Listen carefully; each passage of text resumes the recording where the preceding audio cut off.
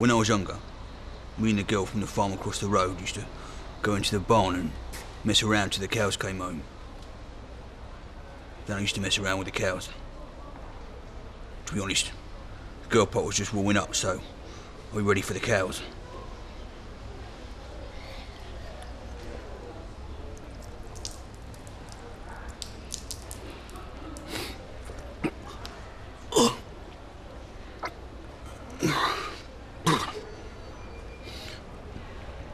Can drink much faster if it's from a live cow.